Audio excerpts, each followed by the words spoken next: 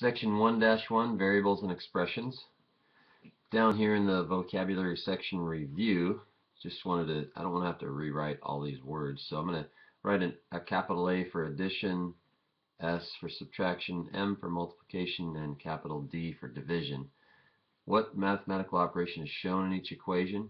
Well, we have multiplication here, subtraction, subtraction, division, and addition. Okay, so that's pretty basic stuff.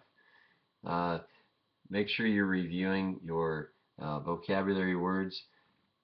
Variables, a symbol. So this is one of the ones that we talk about a lot. Symbol that represents a, one or more values of a quantity that changes.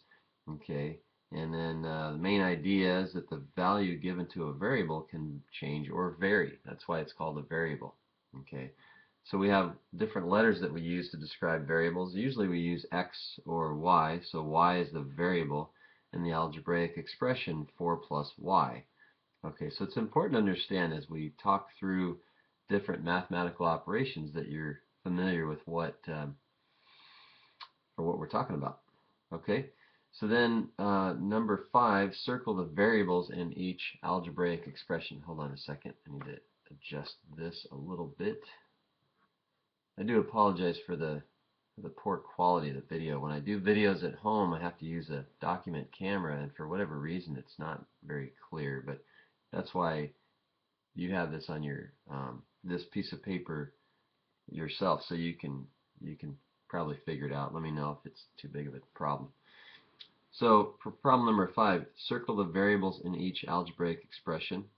We have the variable x, the variable y, now, try to work ahead of me a little bit here so that if, um, if you're understanding this, then you can check just by watching what I do right after you do it. So the third one, go ahead and do that one on your own, and same with the fourth one. You should have circled Z and Y, and then over here you should have circled the W's. Okay?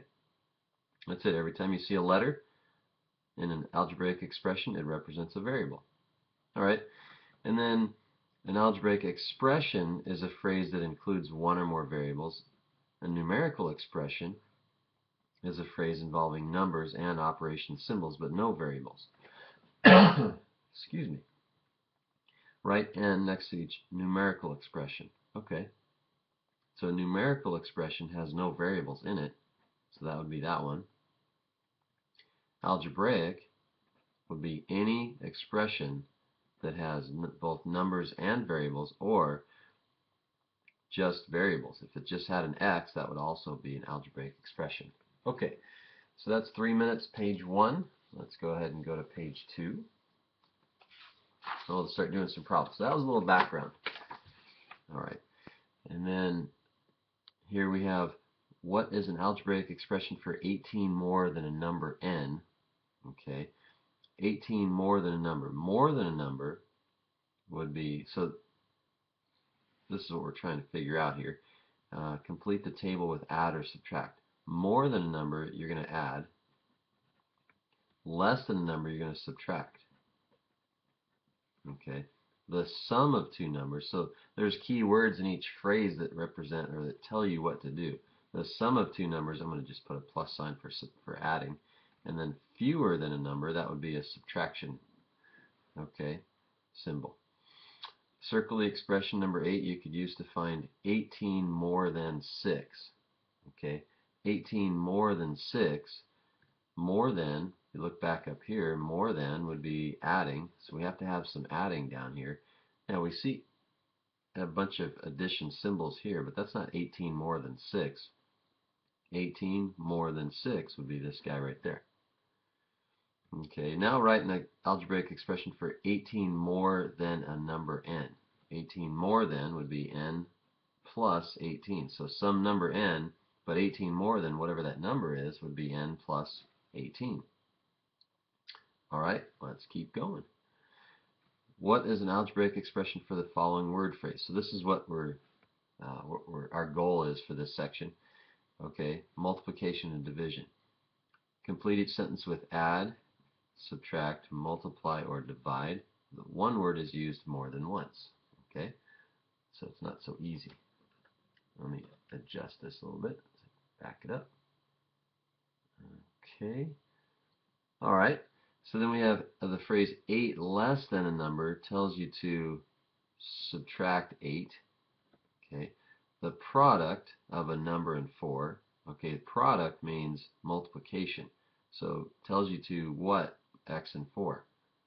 Okay, the product means tells you to multiply x and 4. So x represents a number, 4 represents a number, and the product of the x and 4 means you're multiplying x and 4. Okay, the phrase the quotient. Well, the quotient means division. Tells you to divide 6 by x. The phrase n times 12 tells you to multiply, there's our double up, multiply n and 12. And the phrase the sum of a number and n, a number n and 59 tells you to add n and 59. Now write an algebraic expression for 6 times a number n. 6 times a number n. You could use a, an x, but I want you to use a dot, a dot for multiplication. Okay? Because once we start using variables, if you use x to represent multiplication, then it's going to look like 6xn, which is different than 6 times n. 6xn means 6 times x times n. Okay, so we don't want to use the x to represent multiplication. All right, we're cranking right along here. Let's go ahead and go to page 3. Actually, at the bottom of that, well, last one was page 3, but it's the second page of our notes. Page 4 at the bottom is page 3 of our notes. So uh, hopefully that doesn't mess you up. All right, so in this expression, in this section, we're going to be talking about writing expressions with two operations. Okay. So write an algebraic expression for the product of a number of x, a number x, and 4.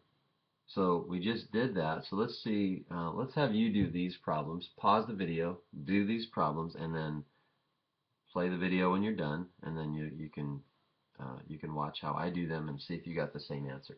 Okay. So again, pause the video now. Do problems 12, 13, and 14. Okay. Write an algebraic expression for the product of a number and 4. 4x would be one way to write it. You could write, or you could write x times 4. Okay. So either one of those is fine. Underline the correct phrase to complete the sentence. The phrase 8 less than a certain number tells you to subtract 8 from a number or to subtract a number from 8. So 8 less than a certain number. So if that certain number is n, 8 less than would be n minus 8. And here we're subtracting a number from, oh, no, no, sorry. Bad. Subtracting 8 from a number. Okay, so 8 less than a certain number. This is the trickiest one. Students always make mistakes on these. Uh, like half the class sometimes. It's it's n minus 8, where it's 8 less than 8 less than a certain number. For example, if you had 8 less than I don't know, 8 less than 10, 8 less than 10 would be 2 because it's 10 minus 8. Okay, so 8 less than any other number is n minus 8. Okay? Number 14. Cross out the expression that expressions that do not represent the word phrase 8 less than the product of. Okay, so it's 8 less than something, so it has to be minus 8, so that doesn't have a minus 8, and that doesn't either. 8 less than the product of a number and 4, the number x and 4. Okay, so 8 less than, that doesn't either. So x minus 8 is not the right one. This is the one that's the correct one. Okay? All right.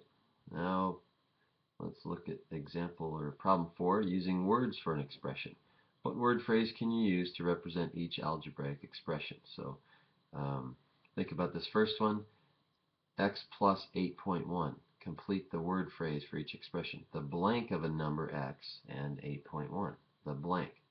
Well, we see an addition symbol in there, and an addition symbol in there means that we're going to be uh, that we're looking at the sum of a number x and 8.1. The sum. That's the sum. Okay. And then we have another one here, uh, 10x plus 9. We see a plus.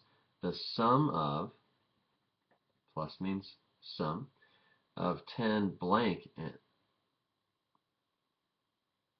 oh 10 blank a number x. So what is 10 doing to x? 10 is multiplying. So that would be the product, let's see, 10, the, the sum of 10 and a number, 10, oh, 10 times, I was looking for a different way to say that. So 10 times a number x and 9. What? Oh, and I totally messed that up. I know, I didn't think times is going to be a good word. Okay, so of, all right, sorry guys, uh, we have the product of, the product of 10, oh my gosh, yeah, the product of 10 times a number, yeah, it is times. The product of, oh my gosh, what an idiot. I'm going to just hold off on this one. I'm going to delete that.